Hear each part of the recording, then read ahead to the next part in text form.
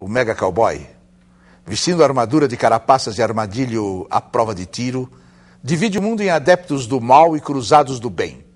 Revestindo uma couraça de raios laser à prova de bazucas, não houve o clamor dos pais da pátria. Ignora a biblioteca de Jefferson, ele próprio, arquiteto de sua mansão, numa época em que se chegou a pensar em adotar o grego clássico em vez do inglês, como idioma da nova república que antecipou a Revolução Francesa, que inspirou os libertadores da Hispanoamérica e os inconfidentes de Minas Gerais.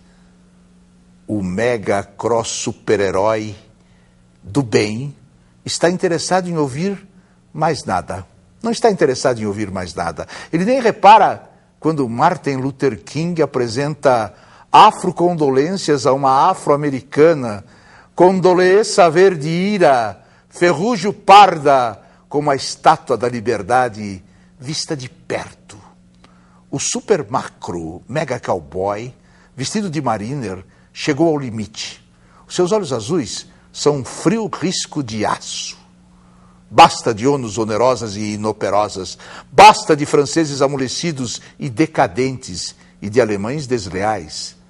Vênias dadas ao trêfego Blair e aos dois porta-vozes de eurodireita, o assinino Asnar, ostentando as medalhas do generalíssimo, e o mafioso Berlusconi, com bufos esgares de Mussolini. Os dois olhos azuis são agora um único risco de aço. O dedo do comando está prestes a apertar o botão. O ar tem um ataque cardíaco. A primeira bomba, como um ovo de assombro, tomba lá onde foi o Zigurat de Babel, ali onde a rainha Semiramis passava tardes amenas e odorantes em seus jardins suspensos.